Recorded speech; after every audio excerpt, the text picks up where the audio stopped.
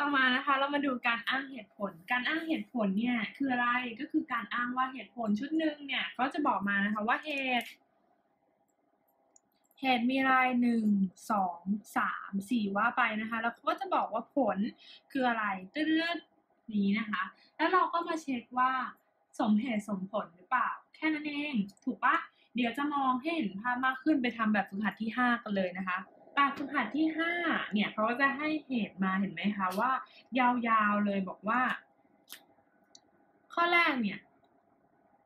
เหตุเนี่ยนะคะ ให้เราเขียนเหตุก่อนนะ ถ้านายดำป่วยเจอคำว่าถ้า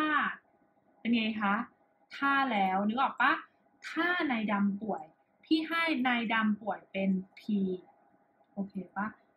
นายดำป่วยอ้าวเขียนดีกว่า จะได้ไม่งงอะถ้า นายดำป่วย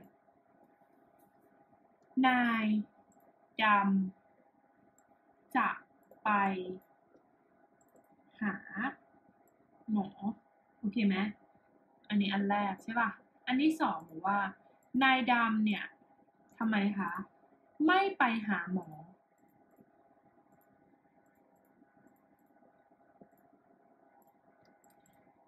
ผลเป็นยังไงคะ ผลบอกว่านายดำป่วย อันดับแรกนะคะ ที่จะกำหนดเป็น P เป็น Q ดีกว่า ถ้ามัวแต่มานายดำนายแดงนะคะ ยาวที่เกียดเขียนนะคะ นายดำป่วยพี่ให้เป็น P นายดำไปหาหมอพี่ให้เป็น Q โอเคปะนายดำไม่ไปหาหมอแปลว่าอะไรคะ not Q ถูกไหมไม่ เจอคำว่าไม่ ถูกปะ นายดำป่วยเป็นไงคะเป็น P โอเคไหมดังนั้นวิธีการทำนะคะ ให้เราลองพิจารณาดูว่าเอาเหตุนะคะมาแลกกันโอเคไหมเราพิจารณาเหตุแรกก่อนเหตุข้อแรกนะคะ ถ้านายดำป่วย เจอคำว่าถ้า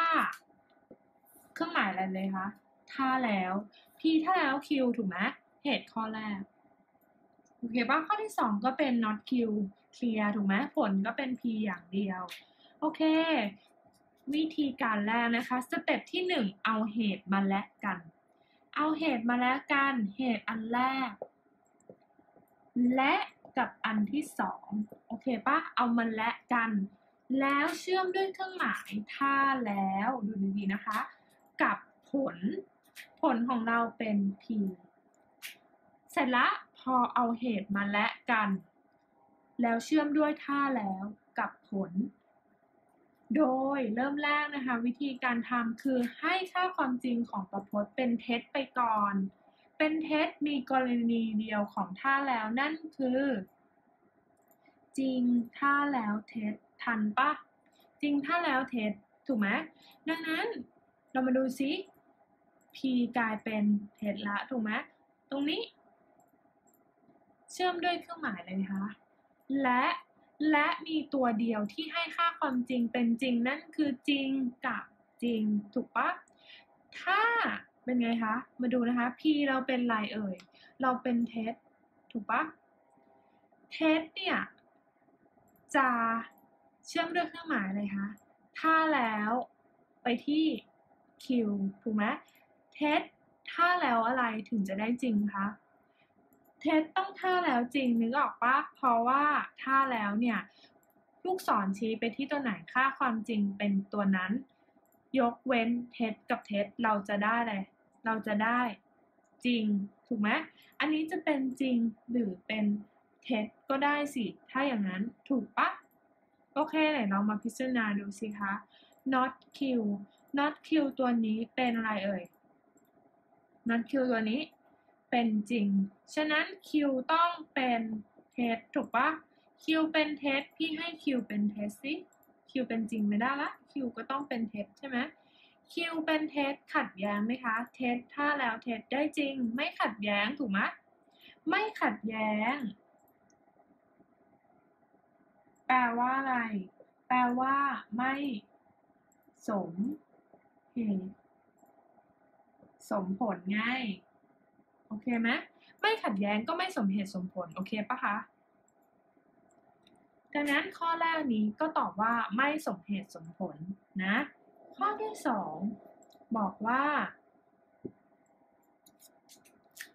เหตุเป็นไงคะ เหตุเนี่ยบอกอะไรได้บ้างหนึ่งถ้าข้าพเจ้าร่ำรวย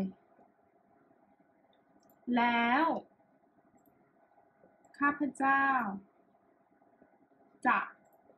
สมัคร สอสอสองถ้าข้าพเจ้า ไม่เป็น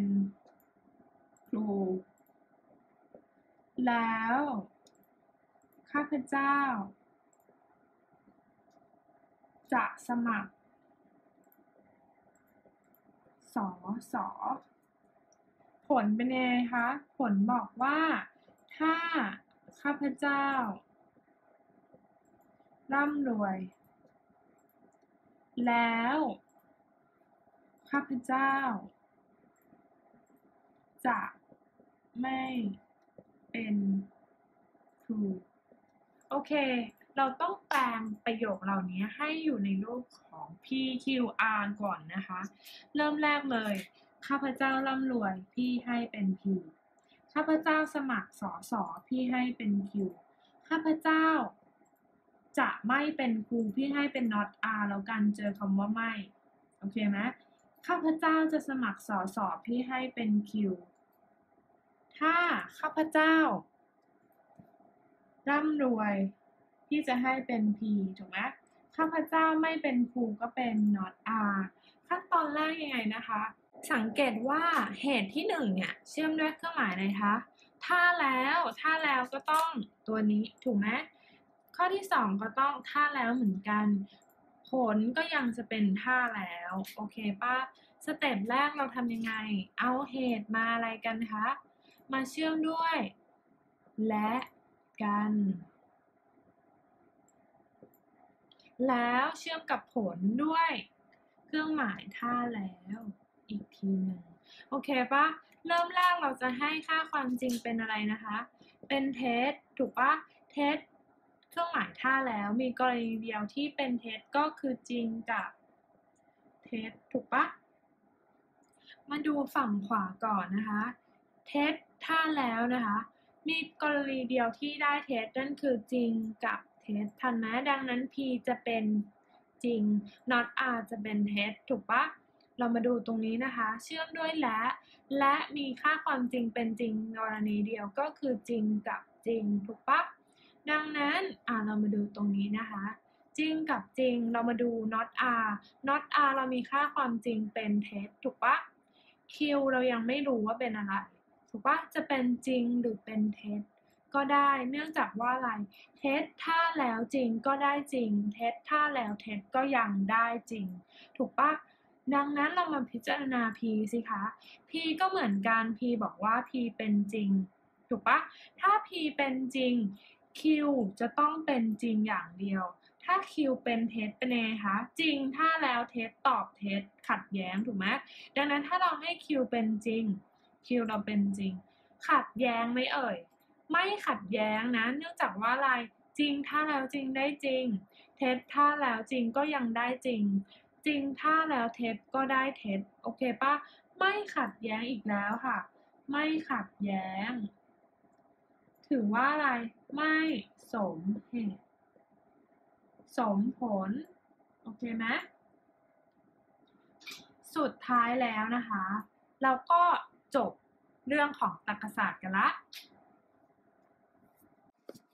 เป็นยังไงบ้างคะน้องๆ ถ้าไม่เข้าใจตรงไหนสามารถสอบถามกับพี่ๆ ได้ที่ Facebook Fanpage หรือ Official Line และสามารถติดตามคลิปวิดีโออื่นๆ ของเราได้ทาง YouTube Channel และอย่าลืมกด Subscribe กันด้วยนะคะ